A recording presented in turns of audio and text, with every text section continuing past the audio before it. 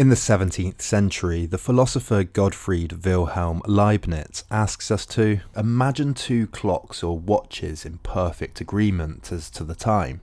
This may occur in one of three ways. The first consists in mutual influence.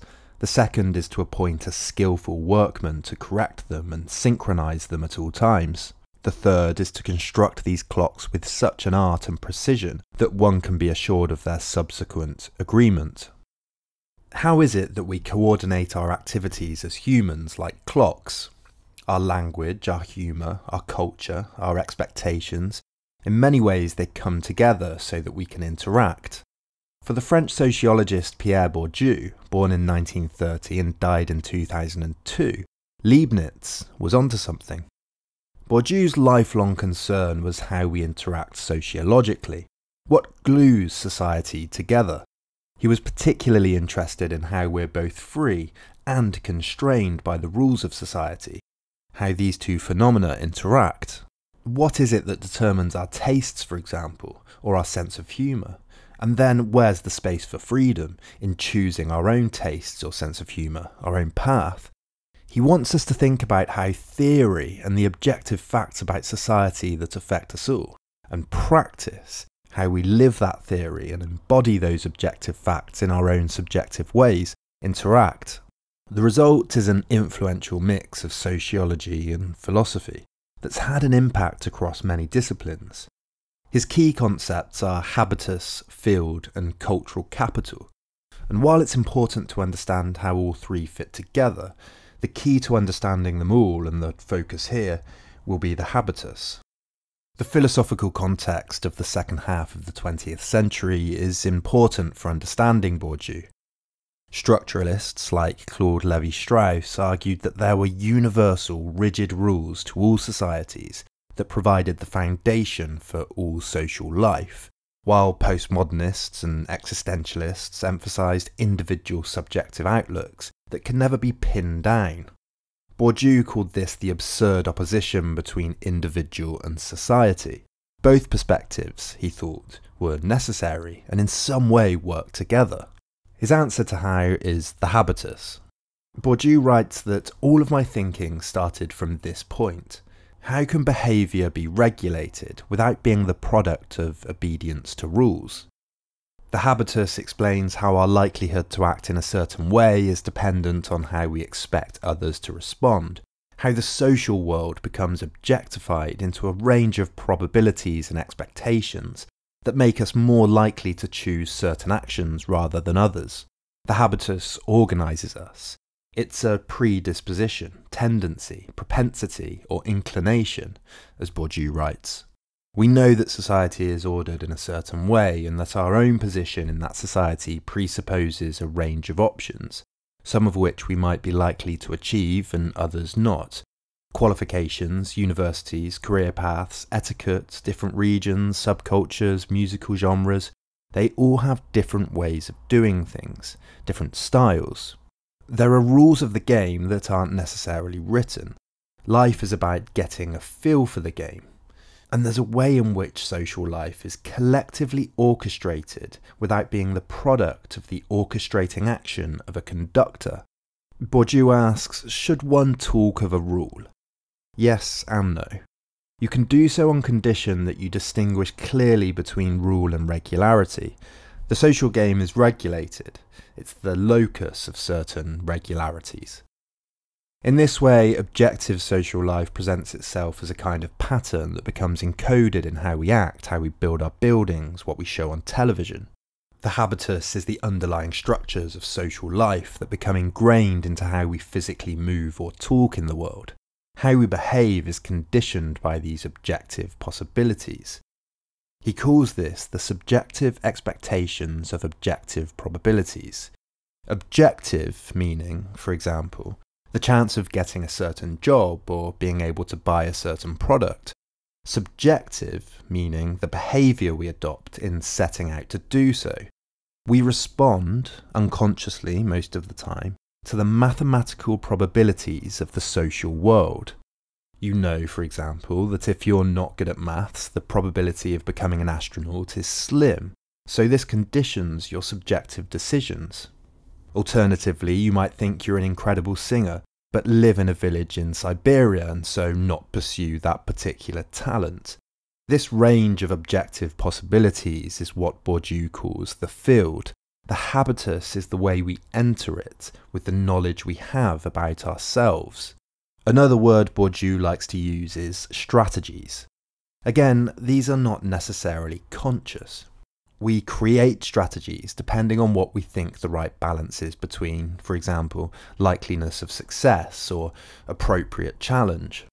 The habitus is the way these social likelihoods become codified in our heads within our own psychologies. Different cultures, different classes, different industries have different habiti, they determine what's reasonable and unreasonable action within their fields, which then guides or restrains personal thought or action. We develop, consciously or unconsciously, different strategies for organising our future actions. Language, interests, fashion, ways of speaking, walking, our routines. And a lot of this is transmitted from parent to child at an early age. This means then that behaviour isn't just rational, it's conditioned by the possibilities that are presented to us. It's determined, but it doesn't mean we are only determined. We adjust the habitus depending on the uniqueness of our position in the world. We can move location, change what we wear, learn new skills. Our emotional responses to certain situations might be conditioned by the habitus too. Where we live, for example, our culture and our social rules privileges certain emotions or virtues over others. Stoicism or openness, for example, or maybe religious reverence. This is something I've talked about in this video on the social construction of emotions. In this way, the habitus shapes physiological responses. Our muscles responding to stress under certain conditions, a certain emotional state might be more socially profitable in the army, say, cold, stern, disciplined, than that of a theatre actor. The boardroom demands a different habitus to the beach. Boys are told not to cry. For Bourdieu, the habitus is the result of history being codified into practice. He writes that in each of us, in varying proportions, there is part of yesterday's man, it is yesterday's man who inevitably predominates in us, since the present amounts to little compared with the long past in the course of which we were formed, and from which we result. So, how is the concept useful? In one study, Gareth Wiltshire and his colleagues have argued that Bourdieu's theory can help us understand some of the causes of early age health inequalities, Overcoming the disparity in life expectancy and healthy lifestyles between the rich and the poor is usually framed as either structural, access to healthcare, finances, etc., or individual, encouraging changes through intervention and advertising, etc. This dualism is something that Bourdieu wanted to overcome, as we've seen. Following Bourdieu, then, they look at how class differences are reified into physical, habitual practices, Living in some areas, it might be important to look strong, for example, while in others to look smart. Accepting or aligning oneself to the habitus brings social and cultural capital that might lead to gains in contacts, respect, status, etc.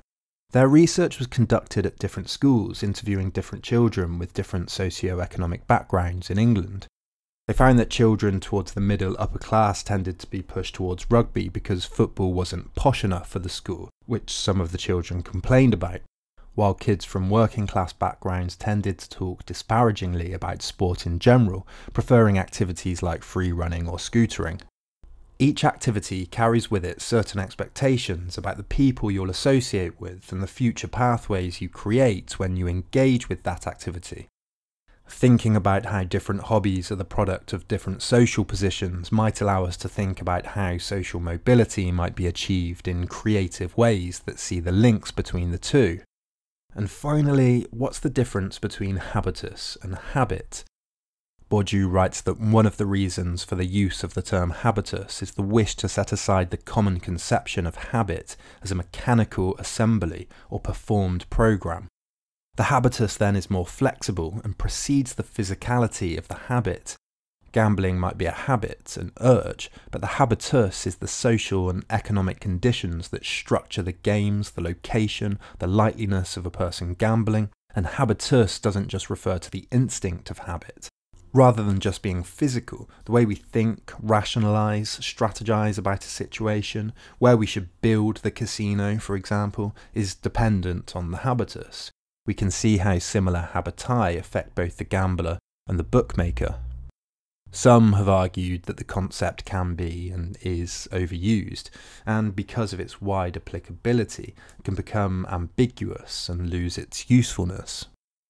But I think it's most useful when we use the concept to think about what might be arbitrary in the ways that we act, when we might be acting that way for the sake of other people, other groups, other classes, in a way that's limiting for ourselves and for others.